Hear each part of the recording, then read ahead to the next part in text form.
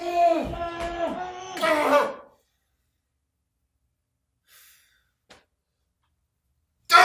Actually had like a good a good video. I had a good video plan for today. I really did. I recorded it for the first time yesterday, which is huge for me to do something a day in advance. The footage came out with this super crackly audio from this microphone throughout the entire thing. It totally ruined. I was on forums forever trying to figure out a fix for it. I tried one of the fixes, woke up this morning, recorded the video again. These are two hour sessions, by the way. At the end of the session, I opened the thing up. It did the same thing again. I did more digging. I spent basically my whole day doing this. I spent basically my whole day troubleshooting this problem. My recording process is now perfect. As far as I know, I guess I shouldn't make statements like that because that's what I thought last time. So it should no longer be an issue.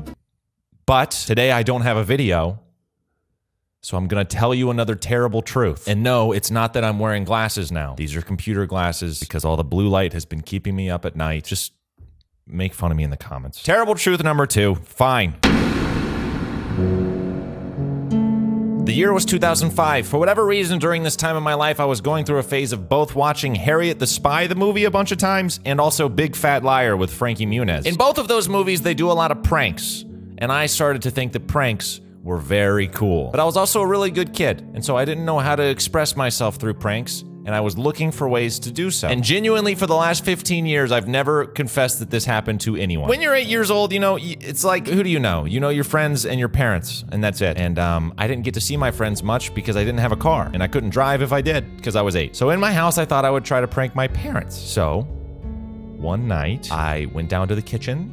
I collected a bunch of toothpicks and I went back up to my room. Every morning, my dear sweet mother would walk into my bedroom and wake me up by singing a song and opening the blinds. It was all very sweet, and for whatever reason, in my twisted eight year old brain, I thought it'd be best to play a mean prank on her for doing that. So, I, gra I, grabbed these toothpicks from the kitchen in the midst of the night. I went up to my room. In sort of the bottom of the door frame at the entrance of my room, I placed these toothpicks like a little little fortress wall. So naturally, if someone were to step into my room and not be watching their step, they might harm themselves with toothpicks in the feet. And I thought I was very, very clever. I thought this was going to be the prank of the century. You know, she's going to do the whole cartoon thing where this, you know, if we do this number. I'm picturing her doing that into my bedroom. I'm laughing about it already. I go to bed. Also that evening, I'd had Little Caesars pizza. And I don't know if you know this about Little Caesars pizza, but it's not good. It is cheap, but it's not good. I had had a weird mixture, I guess, that day of eight-year-old foods. I don't know if eight-year-olds eat candy and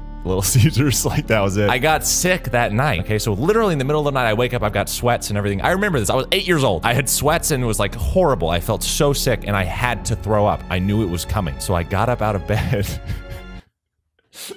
like I start going to the bathroom and I completely forgot that the toothpick fortress was there. So I stepped flat and center on the toothpick fortress and there was none of that that foot holding business. The toothpicks went into my foot and I was bleeding extensively. I'm not kidding. For 15 years I've never told anyone this because I was so embarrassed that I had set up a prank that I genuinely fell for myself. And so as you might imagine, well, first of all, I crawled to the bathroom down the hallway by my sister's room, was sick, went back to my room, took the toothpicks out, tried to forget it happened. I hear Kelly laughing in the other room. She's listening to this story. And then I never tried to be cool again in my life, including today, which is probably evident considering the fact that I can't even hit two days of uploading in a single week. But I will be back this upcoming week. I'm going to do a lot of catch up work this weekend because I have a really great idea for a video that I want to make sure is perfect, um, that I've been trying to do for the last two days with those stupid recordings not working. So we'll be back for it. But until then, thanks so much for watching. I'll see you soon.